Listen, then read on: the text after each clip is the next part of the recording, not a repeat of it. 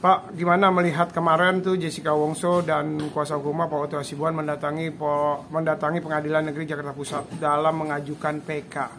Menurut Bapak sebagai seorang praktisi hukum seperti apa? Ya, boleh-boleh aja. Udah kasasi kan terakhir PK. Yang penting PK itu punya nompom baru. Silakan itu hak mereka. Nompom baru itu apa? Yang tidak boleh sudah diproses peradilan ya informasinya CCTV CCTV kan udah pengadilan negeri ponis pengadilan tinggi ponis kasasi ya PK CCTV itu dari mana? Kenapa baru sekarang muncul? Udah bebas. Dari 20 tahun 10 tahun 8 tahun udah bebas kok PK walaupun tuh boleh gitu. loh tapi katanya CCTV-nya sendiri itu uh, ditemukan ada kejanggalan.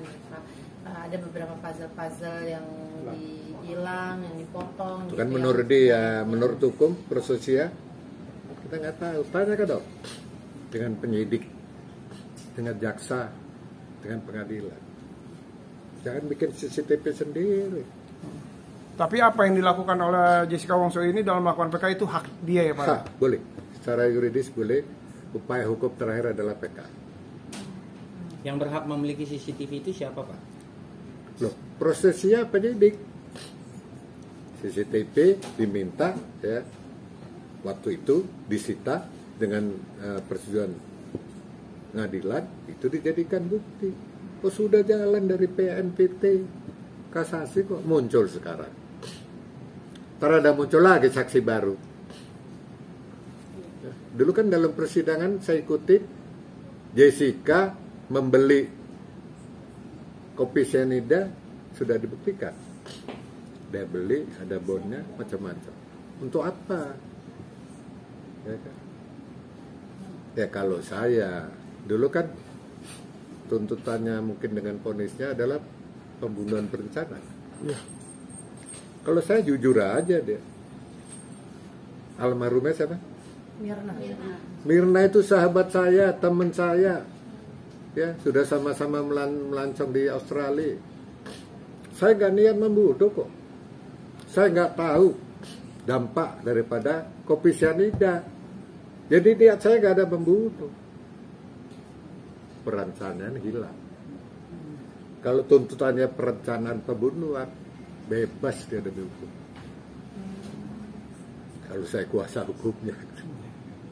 Kan tuntutnya perencanaan. Karena keterangan tadi lah, seorang Jessica mau neraktir orang ke restoran. Yang traktir belum datang, dia sudah pesan minuman.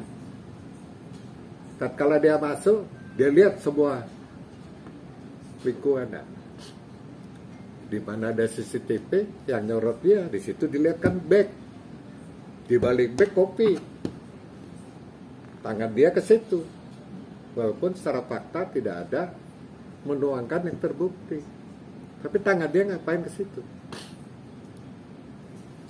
teman yang mau ditraktir belum datang kok udah dikasih pesen minum itu yang tidak logika Oke. Bang, katanya kan juga kemarin di PK-nya itu Pak Oto juga memberikan uh, hasil otopsi. Katanya setelah dikubur, eh, se- setelah meninggal itu tidak ada uh, kandungan cyanida. Tapi setelah dikubur di otopsi ulang baru ada kandungan cyanida. Itu gimana sih abang menanggapi? Jadi dari perjalanan ke kuburan dia minum. Silakan sebelum dikubur ya, untuk membuktikan cyanida, diotopsi digali ubah, eh silakan aja. Tapi kan sudah proses hukum dan sudah kesimpulannya terdapat kandungan cyanida. Komplain dong saat itu. Udah sejuk-sejuk, udah ngirup udara bebas, kan PK. Menurut Bapak, langkah yang diambil oleh Jessica Wongso ini dan Pak Oto itu langkah yang menurut Bapak sebagai seorang praktisi apa sih? Langkah yang tepat atau tidak? Tuh, kalau PK kan semua punya hak. Lawyer terutama. Wajar-wajar aja.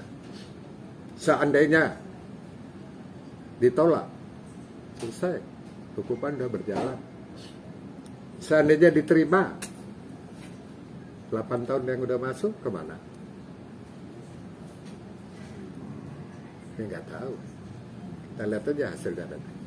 Tiga bulan turun itu hasilnya. Ya? PK itu sebulan dua bulan paling cepat. Normatif tiga bulan.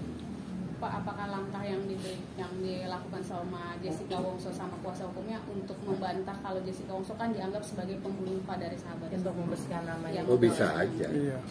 Itu adalah hak. Yang penting nopum baru jangan dibuat-buat.